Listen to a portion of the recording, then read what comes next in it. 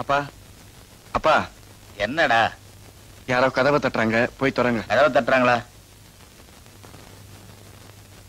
நல்ல நேரம் பார்த்தாங்க?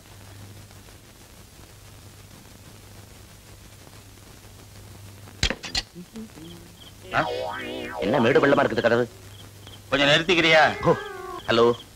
யாரா நீ? என்ன? பாதி தூக்கத்துல எழுப்பிட்டேனா? கோவமா? அண்ணா என்ன? இந்த வீட்டு சமையலா? சமையலான்னு தானே கேட்டேன். சாக்கடை வர்றியான்னு கேட்டேன். நல்லா இருக்கிறப்பா நீ. சமைக்கிறதெல்லாம் எப்படி? நீயே சாப்பிட்டுருவியா? உள்ள ஒருத்தருக்கு ஒண்ணும் போட மாட்டியா? இந்த மூர்த்தி பையனை பார்த்தா கொத்தவரங்க மாதிரி இருக்கா? நீ தல தல தலதான் இருக்க. எண்ணெயை காய்ச்சாம உள்ள தள்ளுவியா? குப்பு குப்பு குப்புன்னு இருக்குது கண்ணெல்லாம் ஆடாடு ஐயோ ரெண்டு ஒரு நாள்ல டெலிவரி ஆயிடும் போல இருக்குது வயிறு. உள்ள இருக்கிறது காத்து நமக்கு தெரியும் மத்தவங்களுக்கு தெரியணுமே. இது என்னது? கிருஷ்ணதேவராயர் மாதிரி தலைக்கு என்ன முண்டாசு? இங்க என்ன இருக்குதுன்னு பத்திரமா பாதுகாக்கிற முண்டாஸ் கட்டி வழுக்கிய? ஏய். ஐயோ, விட்டுருவா. ஐயோ, கொடை சாய்க்கிறான், கொடை சாய்க்கிறான், கொடை சாய்ச்சிட்டான். Good evening sir evening. டேய் மூர்த்தி யாரா இந்த காலிப்பே என்ன போய் சமயக்காரன் ஐயோ சொல்றாங்க படிக்காதீங்க இவர் தான் எங்க முதலாளி. முதலாளியா? எப்படி?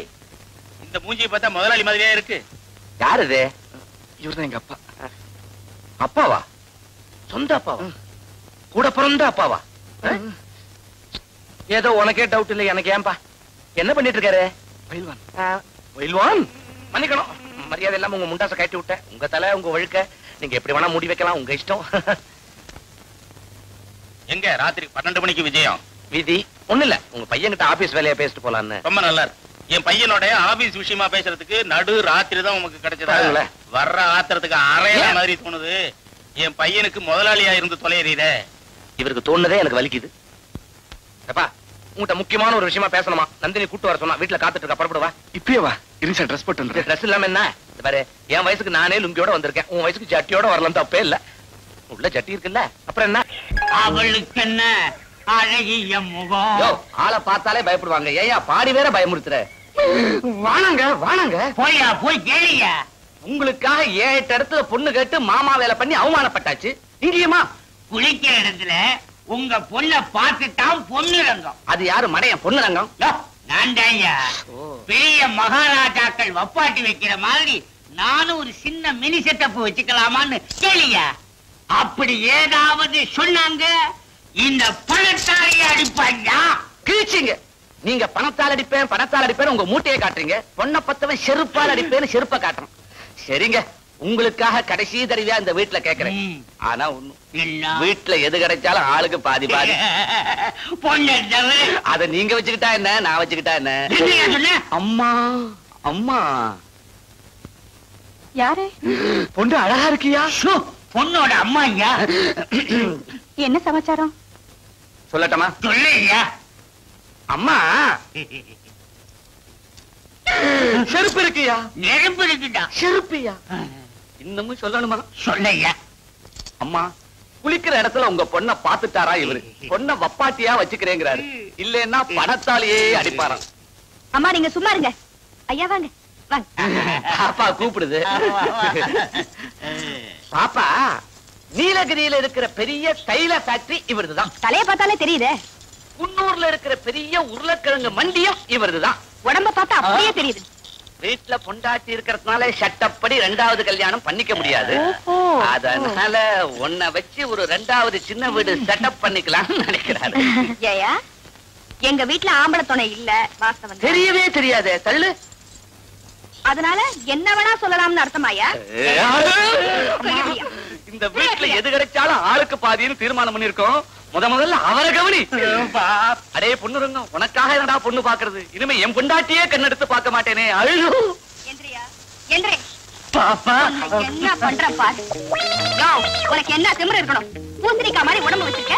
இந்த லட்சணத்தை வேற நீ இந்த மாதிரி ஆளை சும்மா விடக்கூடாது.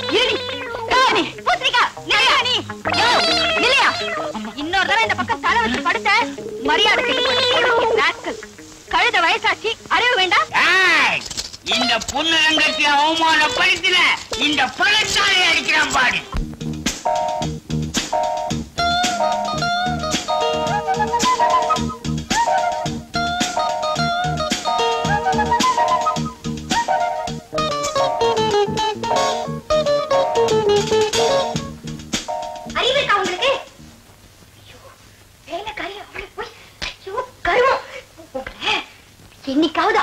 வர போறீங்க அன்னைக்கு கூடையில போட்டு குச்சிக்காரி வீட்டுல கொண்டு போட போறேன்.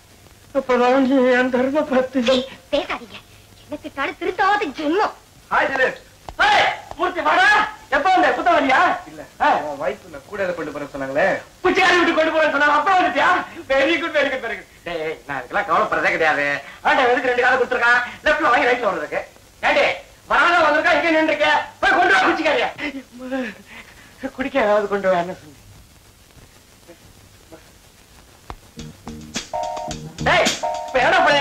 எந்த ஊர்ல இருக்க? மெட்ராஸ்ல தான். நந்தினி சுந்தரம் ட்ரேடிங் கார்பரேஷன்ல மேனேஜரா இருக்கேன். நந்தினி அம்மா கம்பெனி இல்லையா ஏன்? உனக்கு அவங்கள தெரியுமா? நான் தான் அவங்க கிட்ட வேலையில இருந்து டிஸ்மிஸ் ஆனவனாச்சே.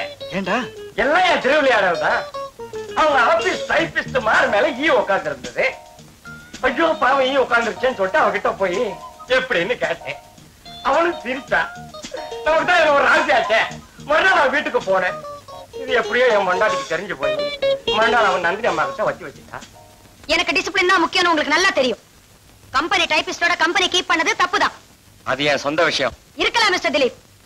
எல்லாத்தையும் உங்க பொண்டாட்டி வந்து என்கிட்ட சொல்லி அழும்போது என்னால இதுல தலையிடாம இருக்க முடியல. ச்சே. கட்டின பொண்டாட்டி வீட்டுல அழகா இருக்கும்போது கண்டவனோட சுத்துற. உங்கள மாதிரி அயோக்கியங்களை எனக்கு பிடிக்காது. உங்கள மாதிரி ஆளுங்கெல்லாம் என்கிட்ட வேலை செய்ய வேண்டாம். இந்தாங்க உங்க டிஸ்மிஸ் ஆர்டர் கேஷியத்தை சம்பள வாக்கி கேட்டு வாங்கிட்டு போங்க. என் பொண்டாட்டி புண்ணியவதி. ஒரு இடத்துல முழுசா என்ன மூணு மாசத்துக்கு மேல வேலை செய்ய விட்டதே இல்ல.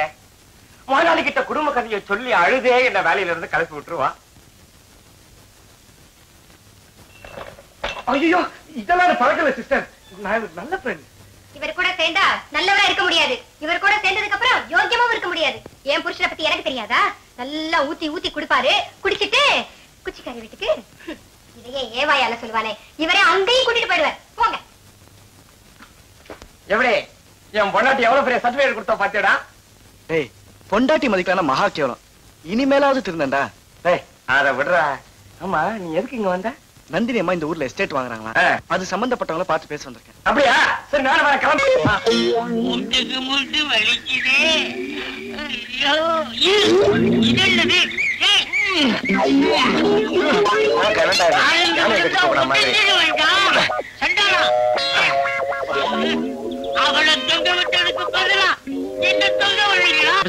மூர்த்தியோட அட்ரஸ் பத்திரமா வச்சுங்க. ஒரு லோக்கல் மேன் அவர் அட்ரஸையும் குறிச்சு வச்சுங்க. வாங்க.